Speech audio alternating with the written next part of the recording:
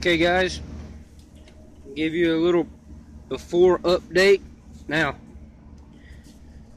these are all of our parts that we've got that we got out of our bucket. Now they did come off of that engine, okay? With the exception of these, this is the front axle off of the uh, snapper mower. This is the tie rod off the snapper mower. This right here is the torsion bar I was telling you about, or sway bar, or whatever. It's got the uh, belt guides. This is the old carburetor that came off of it.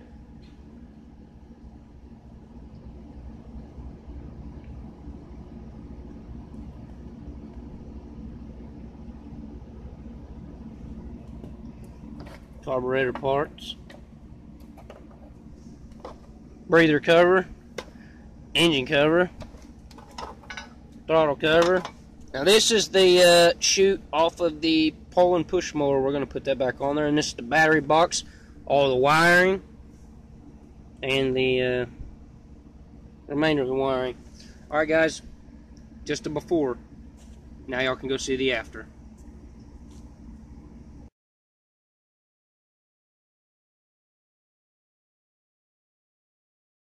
Hey. Alright guys, here's the uh, finished product of what we're doing today. Um, it's just too hot out here. So here's the breather cover. All nice and clean. Okay. The, uh, it's actually the muffler cover. Uh, top of the carburetor for the breather couple fuel lines, sway bar, torsion bar, whatever, the exhaust manifold, um, air filter goes in there. This sets down right inside there. And the uh, wiring, we rolled them up. And uh, like I said, uh, the uh, carburetor's still clean, but uh, here she is right there.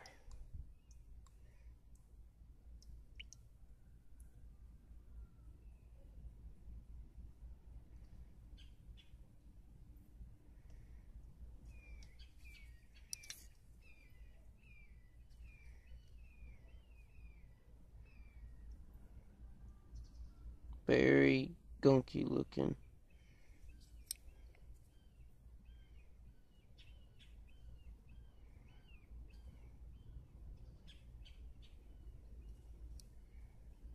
I did my best to get all that uh fucking seal off of there gasket. Goddamn bowl, look at there.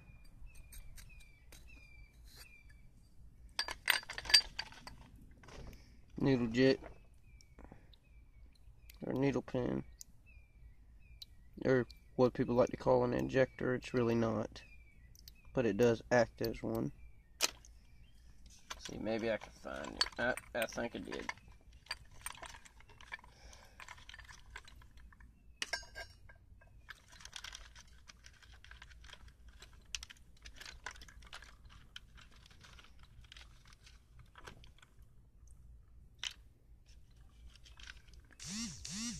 here is your needle jet. And all that does is see that little hook right yonder inside it. You see that little that little groove in there.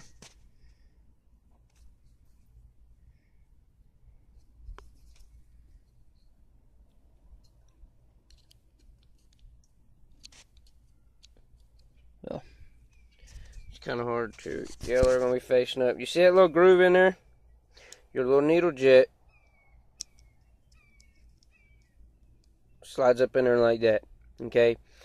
And when the bowl when the bowl fills up, your plunger or float will move up, which will push this directly into the pinhole just for y'all those just for those of y'all that didn't know um, i'm not calling anybody stupid i'm just saying there's a lot of people out there that don't know, so I just want to let them know. And when I go to put it back together or rebuild the carburetor, I will let I will take a complete video of that. Now that carburetor is identical. I pulled that off of a a Poulan uh, a Poulan Pro uh, riding mower.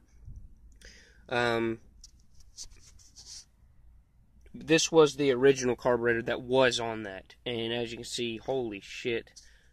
I don't even know what to think. Like, that damn thing was so fucking dirty. But, uh, yeah, guys, I mean, damn. We've got a pretty good number of parts here that has been cleaned up. So how about we go ahead and put our clean parts into our now, well, semi-clean bucket, I guess. These uh, bolts right here that y'all see, these two go into the carburetor. Now, obviously, we're not going to use this carburetor for this mower. We just wanted to get it cleaned out. The one that is on the mower will be the one that we do use, just so y'all guys know. Um, hope none of y'all are mad at me for not using the original, but the original is the same exact fucking carburetor I just put on that. So, I mean, hopefully y'all don't get mad about that, but, you know, even if you do, sue me. Um, okay, guys, so let's get well, well, actually, let's start with the wiring. And y'all can see, I just kind of roll those up in little coils. Just so that way, nice and neat out of the way. Here's actually another one. And here's the uh, fuel line clips. Very, very sturdy. I like them when they're built like that. But, uh, yeah, guys that's what we got there. And these are just uh, a ground and a hot cable. This actually goes from the battery to the solenoid, not battery to starter. I've seen a lot of people. I've actually heard a lot of people. they've told me, and then I have seen people run a long hot wire from the battery directly to the starter. Yes, guys, it can be done because just like an old boy wanted to tell me. Well, you, you, you take a pair of jumper cables, hook it to a truck battery, and then touch the starter. Yeah, that's a direct start. You burn your starter up doing that. That's why it's not good to direct jump your lawnmower off from the battery. That's why normally how normal people or smart people do it is they put battery to battery and hit a fucking key. Okay, or to complete the circuit, they put a fucking screwdriver in between the goddamn solenoid posts. Okay, when you hit that starter, it is putting so much voltage through there, which is what a solenoid is for, is to bring that voltage down. It will burn your starter up, and then you got to go replace that, and it's like a $75 part, depending on what size motor you got. Uh, it does work, you know, I'm not trying to be a hypocrite, I, have done it myself, but I just, you ought not do that. Um, this is battery to solenoid, hot wire. The uh, little black one that I, where the fuck did I just do with it? Uh, I got, I don't know what I just done that little black one. But, uh, okay, anyhow, that little black one that's about three to four inches long, this is eight, this is, uh, this is eight inches. Okay, a standard ground wire is three to four inches long. That runs directly from the, uh, uh, battery to the frame or solenoid to frame. I've normally seen them on battery to frame. Okay, now uh, there is a oh no no no okay the ground wire goes to the second post, hot wire on the other post, and then they ground the solenoid to the frame. Okay. Um, that hot wire that comes through, now you'll always see a little teeny red wire. That tiny red wire is what completes the circuit. That is your ignition wire. That runs straight to the ignition, so when you turn that key, it's the same as putting a screwdriver in between those. It is taking that and completing the circuit. It points two little points together, and you get spark, and it goes straight to the uh, ignition, um, and that's what turns your motor over. Okay? if you don't have that little red wire, These are 12 gauge or 24 gauge. Go to your nearest hardware store, or hell, you can even go to Walmart. They come in all different colors. Me personally, I don't like red on red, or I don't like black on red. Okay, I would always keep the ignition hot wire red. Okay, but th this is 24 gauge uh, wire. You can buy a little spool of it at Walmart. It's like seven bucks, six ninety nine, something like that. Okay. Um, uh, now I have seen people. Uh, I mean, you could get it anywhere. I mean, take it out of something else or whatever. But like I said, brand new wire, seven bucks, Walmart, really good deal. Okay, guys. So let's uh, go ahead and get this in here. It, uh, I believe it's starting to sprinkle. It's another reason I want to get in. I'm just going to drop these bolts uh, in here with this uh, rubber gasket that I got because what it's for. Um, I always like to do this just so y'all know this is not motor oil that I put in. Uh, used motor oil. You ever pulled the char? The more charred, the better, believe it or not. Uh, the more burnt, the better, okay? All these little bolts, when I pull them out of here, you're going to see a complete difference. Alright, y'all. That's it for this. I'm actually not going to put this in there. I am going to put this right here. Okay, y'all don't let me forget that. but uh, now we're gonna put our, uh, you know, little fuel lines in there. Okay, and we're going to set torsion bar because it's the heaviest object. Okay, and then we will set muffler cover and whatnot in there. So that right there. Get this in there yeah, like I said, guys, all these parts right here have done been cleaned and went through, and that's what we're going to use, and now we're going to set the cover. Oh, man, check her out. Intake. Oh, guys, I was wrong. That's an 18 horsepower. Where the fuck did I get 12 and a half?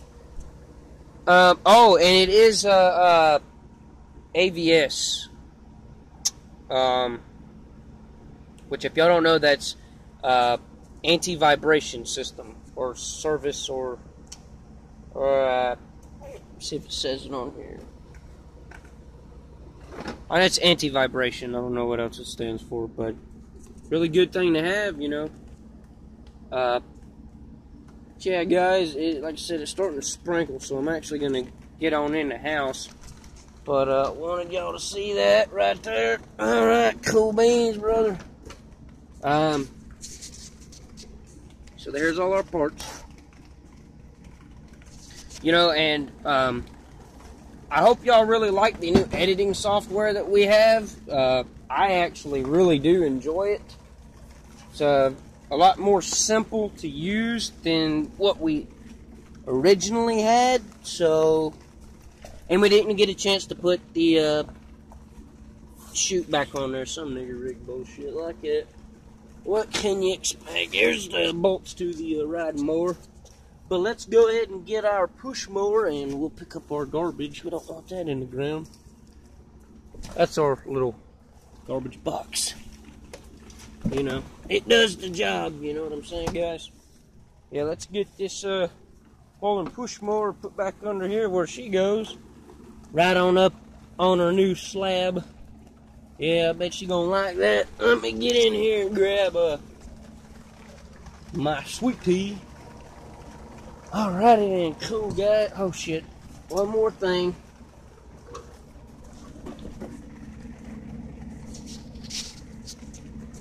Grab the uh, carburetor. And uh, stick him right there out of the weather. Alright guys. So we got the uh, shop all cleaned up. Back to normal. So let's get out here and uh and there you go guys. I got the hood over there. I had to use the wheelbarrow the other day, but alright guys, don't forget to like and subscribe. I hope y'all enjoyed the video and uh, we'll see you next time.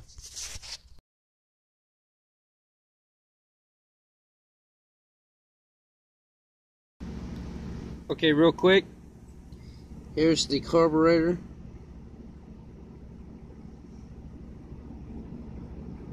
It's not coming as clean as I would like it to fast enough. So I'll give y'all an update on this tomorrow. Um, for right now, I've been scrubbing on it a while. We're just going to let it set. But you can see the difference. The carburetor was in the same shape the bowl was.